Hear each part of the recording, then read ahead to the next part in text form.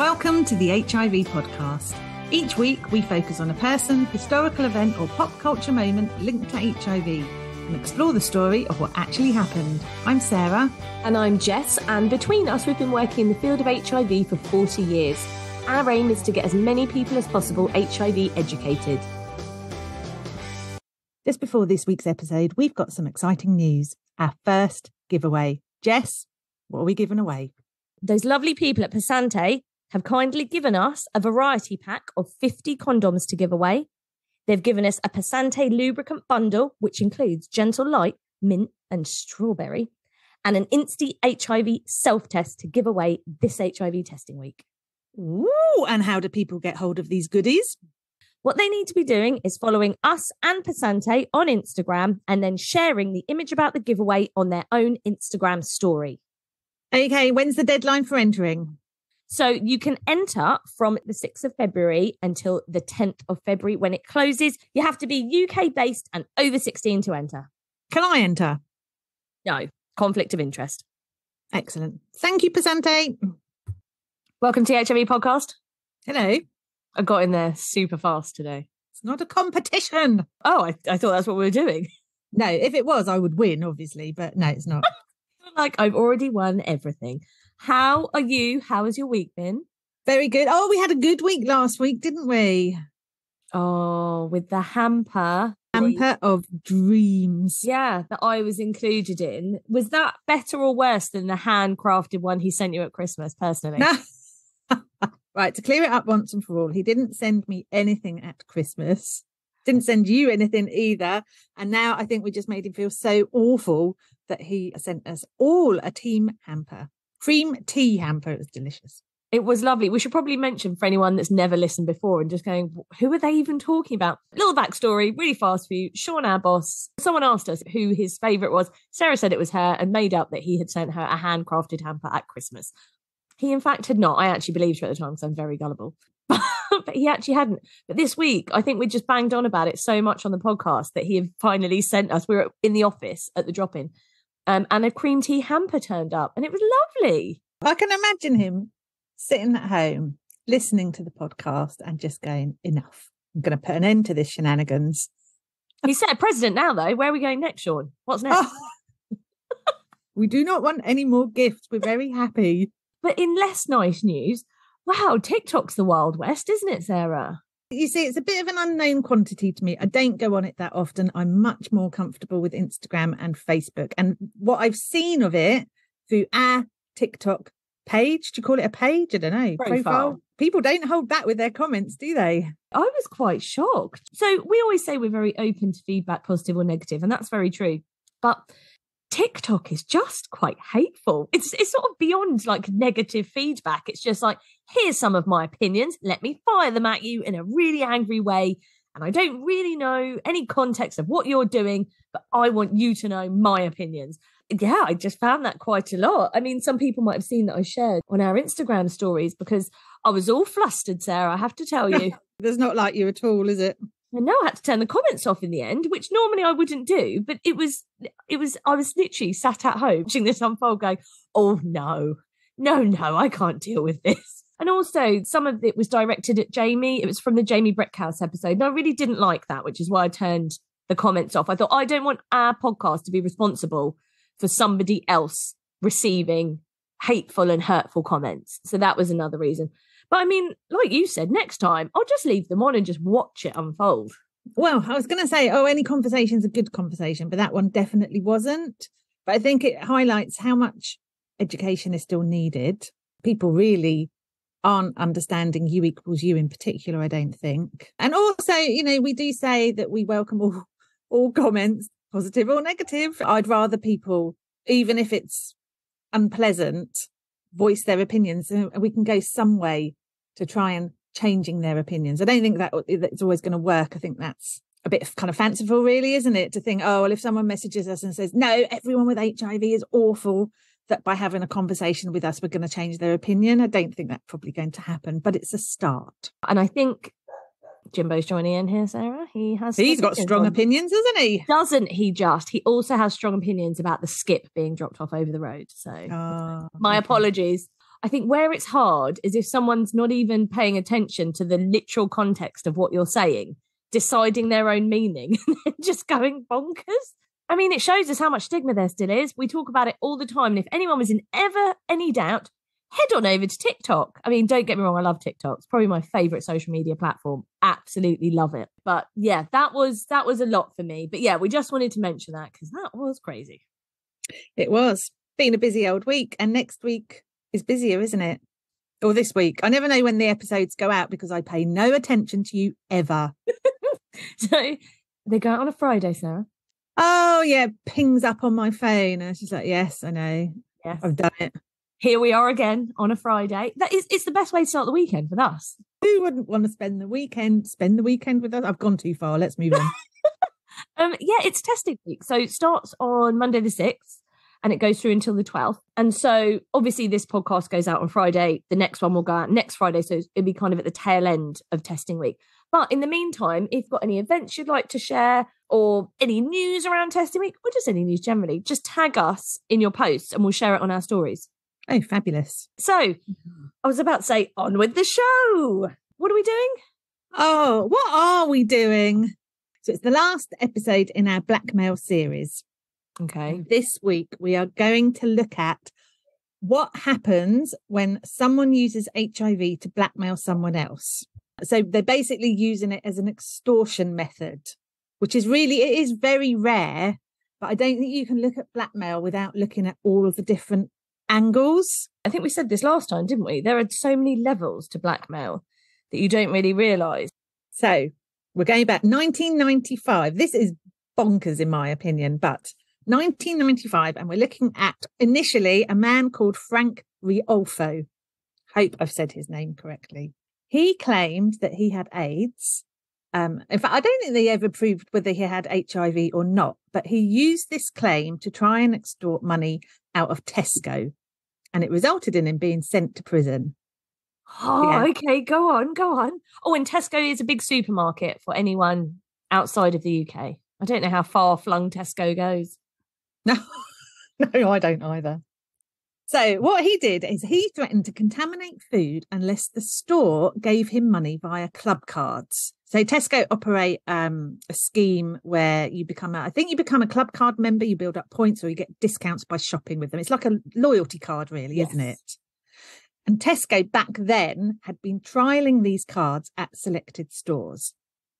What Riolfo wanted them to do was issue him with a card pre-programmed via the magnetic strip on the back with a bank account that they would deposit money into and then he would access the money via a cash point. I mean, wouldn't you pick somewhere a bit smaller than Tesco? I mean, as we go through this, I think there are many flaws in his plan, if I'm honest. There's better ways that we can do this. I don't want to brag that I've got a criminal mind, but as I was looking at his case, I was just like, no, no, you've gone wrong here, here, and here. I love it. You can now add criminal mastermind to the ever growing list of, of your accolades. Yes, I can. So, what happened on the 13th of January 1995, the store manager of the Kettering branch received a call from a man who called himself St. Mary Ann. You can pick any name at all. And he went with, for like a criminal name, he went with St. Mary Ann. Did he live really near a St. Mary Ann church or something? I feel like that's a giveaway. I feel like we might find him through that. Okay, sorry, go on. I was just so shocked that that would be his criminal mastermind name. Yes. Yes. So he's called himself St. Mary Ann, and he said he'd contaminated food at the store, at the Kettering store. Staff checked, and frozen peas and prawns, two of my favourite foods, by the way, had been injected with black ink. That is not the contamination I was expecting, if I'm honest. I don't know what I was expecting. I don't know why I thought he might stick his penis in a bag of peas, but it was not squirting ink onto stuff. And what would that even do? I suppose he's leaving a message, isn't he? He's like warning them. If he's sticking his if he's sticking his penis in the bag of frozen peas, he's going to get arrested, isn't he? Well, I should think he'd get arrested for squirting black ink everywhere. Uh, well, he followed up with a blackmail demand to Tesco's head office. And he said, as you know by now, the food was contaminated with pen ink but it could so easily have been a toxic substance. I am fully prepared to extend my actions unless my demands are met. This is this is probably the best episode we've done in ages because you are blowing my mind slightly. Right, his demands related to pin numbers for these loyalty cards. He'd already got the loyalty cards and he said to them, put coded entries in the personal announcements of the Times, and he told them what to write. So one of them, for example, said, Thanks for a wonderful time last night. Ring me, love Mick, and then a code underneath. Presumably to look like a phone number, yeah. Yeah. Oh, I, oh, this is very old school, isn't it? It's really like you know, in the personal ads, putting your messages in it. Oh, it's a bit desperately seeking Susan. Very much so, yes. But do you know, I mean, Tesco weren't having any of it. So Riolfo kind of upped his game a bit and injected frozen meat in their Dudley store and deliberately left behind the syringe. And Mm. then he sent more letters to Tesco and he's threatening to tell the national press what he's doing, saying, Look, I've got AIDS, so I have a ready made supply of infected blood. I mean, I don't mean to cast aspersions, but what, who comes up with this? Well, I know. Well, I know exactly who does come up with things like this. I feel like there are easier criminal ways to to make money. It is bizarre. What did Tesco do in response? They caved in. Are you joking? No. On February the 27th, Tesco opened a Barclays bank account, deposited £25,000 into it. He also requested they launch a big club card promotion at his local store in Dudley. And they did. They did all of it. Were they getting advice from the police or anything? It doesn't say. He's kind of said, "Well, I've got infected blood." They've just panicked, I think, and just gone, "Oh gosh, okay, well, we better better get on this then." Well, we better we better succumb to our blackmailer's demands. I mean, oh Tesco, what were you thinking? And why did he just target Tesco? I'd have gone M&S. Oh yeah, but I wouldn't have asked for money. I'd have just asked for food. Literally, what I'm thinking. Like, put some put some pork pies in as well. Oh no, that's the saddest thing ever. Your blackmail demand is to just some pork pies, please. I, the saddest thing about that is I'm now vegetarian, so I couldn't even eat them. You have the pastry, I'll have the pork. That's actually a deal. The worst bit was the pork and the gelatin. Best bit is the pastry. Oh yeah, I don't want the jelly stuff. That's awful. That ruins a pork pie for me. Okay, so so he's asked them to also launch this club promotion, presumably to make it more difficult for them to spot him using this card that's loaded with 25 grand. 25 Anyway. grand. Yeah. They gave him £25,000. And that's in, what did you say, 95 as well? Yeah, So that is a hell of a lot of money. that's right, Grandad. It is. I assumed he'd just be like, oh, give us 500 quid, give us a grand. But I did not realise Tesco caved in for 25k. Yeah, they did. Now, he didn't go to the promotion himself, he sent his wife. And while she's there, she picks up a club card of her own. I don't know if she's in on it at this point or not. So she picks up her own club card and she gives her real name and address. The couple then went on a spending spree across the Midlands, withdrawing money from cash points. So they're using their Tesco club card. It's been programmed, the magnetic strip's been programmed, so they can access this 25 grand that is in this bank account. And then uh, using the card as well when they go shopping to build up points to get further discounts. I love that they want them, but just forget the points, guys.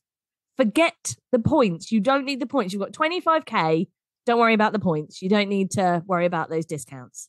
And the police obviously are on the case. They didn't have to work too hard to track them down because, you know, she'd given their actual address. She is the worst sidekick ever, isn't she? She is the most terrible accomplice to have in a crime. Yes. So the couple were picked up. Where do you think they were picked up? I'm going to say in Tesco, literally trying to get some more points or something ridiculous. No, they were picked up in Slough. One of our centres is in Slough, which is why to us, we're like, no. Whereabouts do we know? At a cash point, of course. Of course, of course. This was in April 1995. So they picked up at this cash point. They'd spent by this point about seven and a half thousand pounds. I mean, if someone put 25 grand in my bank account, it would be gone by the next day. What would you spend it on, Oh, I think I'd get a car, I'd get loads of new clothes, I'd do a massive food shop at M&S. There is a lot. You are so active. I couldn't fit that much into a day. Really? Oh, yeah. Maybe one of those things. Two are to push because you added food in. So I'd pick one. It's either the car or the or the clothes and then some food. But I couldn't no. Well, do you know, I might just pay off some of my mortgage. That's quite dull though, isn't it?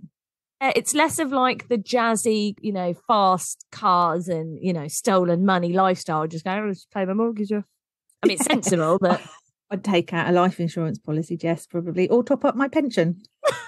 A fun-filled life I live. Yep. I like That's that's what it. you think about when you think about crime. You're like, oh, I could uh, get a bigger pension there. Amazing. Anyway, all of this goes to show that if you mention HIV or AIDS to a big company like Tesco's, they panic. Now, we should point out that we do not recommend anyone uses their positive status to this effect. That's not what we're saying at all. I mean, if Tesco had done their research and been HIV educated, they would have known that a syringe of infected blood that's injected into a bag of frozen peas or meat is not an HIV threat because the virus cannot live outside of the bloodstream. Frozen peas. One odd thing to like inject a substance into a bag of frozen peas. I know it is very odd, isn't it? I'd have gone for like yogurt. Oh, Yeah, because It's going to have peas. Though. You can see, you can see the ink in there or, or whatever he's injecting. Do they have a see-through bag? Mine do. Do yours not Mm, have a? si- Oh, this is the top level content, isn't it? oh, look, let's move on. Do you know? I do think if Riolfo had been positive, I mean, he had very little knowledge, didn't he, about his own HIV status. But you know what? He got six years in prison for this. So he had plenty of time to educate himself about HIV. That is quite the quite the stunt, isn't it? But like you're saying, I remember when I was young working in shops and people would use it as this kind of not as extortion, but shoplifters would come in and hold a needle and say they had AIDS and like basically you just had to let them take clothes. And all the security guards would just be like, just let them. Where were you working in shops that this happened on a regular basis? in Eastbourne? Wow. Yeah, yeah. I work. I did. Well, we can name names because we're not advertising. Worked in Burton's. Happened a lot in Burton's. Really? Nothing Yeah. like that happened to me. I worked in Boots as my Saturday job, and the only I was going to say fun thing, it really wasn't fun, but the only thing that broke the monotony was um, someone phoned up with a bomb threat, and I answered the phone. What and they don't train you for stuff like that. So I was just like, oh, can you hold on, please? I'd like to get the manager. And they just went, no, there's a bomb in your shop and hung up. What did you do? I went and found the manager. I was, "Oh, I'm so sorry to disturb you. Someone's just said there's a bomb in our shop. Do you think you just ran out like it was on those enormous boot stores and people could just hear you coming like, ah! you, you ran outside? Oh, that's quite exciting. But they don't train you on how to deal with things like this. They're Oh, more no. interested in can you work the till properly and good customer service. Yeah, they didn't really train you up in Eastbourne either. I remember once a shoplifter came in and literally just had arms full of clothes and was walking out the door. And I just sort of happened to see it out the corner of my eye. And I just sort of said, Oh, excuse me. wasn't even being rude. They turned around and they went, All right, F off, threw the clothes at me. And I was just stood there, like dripping in like jeans, chinos, and t shirts, just like, oh, me. so aggressive. Good that he thought you were going to take him out. Just like you must have had like your game face on, like, no, this does not happen in this shop. I mean, there are more cases. So I looked at, there was a study done a few years ago looking at the role of biological toxins and bioweapon threats in the 21st century. That is is my bedtime reading now because it's fascinating. and they um have included, they said there's 15 cases where HIV had been used as a weapon. A lot of them concern supermarkets. I don't know. A supermarket's like an easy target. They must be. Well, maybe everyone heard the rumor that Tesco had paid out, Sarah. Became easy pickings. Ooh, That's a good point. I mean, I've picked out a few. Most of them are UK based as well, but they all follow the same sort of theme. So if we go back, so take May 1989, for example, someone called Robin Smith sent letters to five companies, uh, including Safeway, Littlewoods, Procter & Gamble and Vidal Sassoon, threatening to contaminate products with HIV in blo- infected blood. And he signed the letters from the bogeyman. The bogeyman would do much worse things than just threaten to put HIV in shampoo. Not even that you can actually do that, but you know, I feel like that's a a, a bit of a big accolade. Do you know what I mean? In terms of what he was actually trying to do, the boogeyman. I mean, he got caught. He made a phone call to one of the companies. Police traced the number. He got five years in prison. Again, terrible criminal. Exactly. September 92, an unknown extortionist signed his letters as the Terminator. He was threatening Budgens, the supermarket chain. I don't think Budgens are around anymore. Yeah, they are. Oh, are they? There's one Well, near we all me. know I'm, I'm an M&S food person. I wouldn't go to Budgens. I can tell with your see-through bags of peas. They're the expensive ones, Sarah. uh, anyway, so he was going to contaminate their products unless they paid three hundred thousand pounds. In one third letter he mailed, which was sent to the Daily Mirror, he claimed he'd placed HIV contaminated projects in nine of the store's shops. They never identified him, and he never got the money. So, what was the point? so the Terminator is still out there somewhere. He is out there. Maybe he's listening to this podcast. Maybe he's going to come after us because we laughed at him a bit. Bring it on. That's what I say. Right, stand for this silliness, Jess. Obviously, you'll deal with it because you know I don't do manual work. This is, this is all on you. Just oversee it. Yes, and yeah, I'm more strategy and thinking. You're Oh, delivering. Yeah, yeah, yeah, yeah. Like an assistant. Well, PA. I think we agreed, didn't we? okay, so in January 1994, two men attempted to extort 12 million pounds from three supermarkets, Safeway, Sainsbury's, and Tesco. So they're slightly different because they're saying that they want the money as a tax to help small businesses. And they're saying if you don't pay us this money, we're going to contaminate foods that were purchased and eaten by customers without further cooking. Sandwiches, yogurts, as you See, I suggested. told you. Packet of crisps. I'd be in trouble. Yeah, you yes. They said there are a small number of our members who have tested HIV positive. We have the supply of infected fluid whenever, and we can deliver this to the produce in your store. They called themselves Action in the Community. And they didn't just use HIV, they also had access to bacteria and chemicals. Oh, crikey. They sound quite menacing. This is like proper, proper gang, isn't it? Mm. So the police posed as supermarket executives and they negotiated a ransom. They paid over £475,000 and then immediately afterwards arrested the two of them. One got five years, one got eight years. I've never heard about people using HIV in this way. I never realised any of this happened. We've got one more for the UK. That's Barry Dixon. He wanted £100,000 from Sainsbury's, again, threatening to contaminate the food. He wrote to Sainsbury's in November 1995 and he said, Don't tell the police.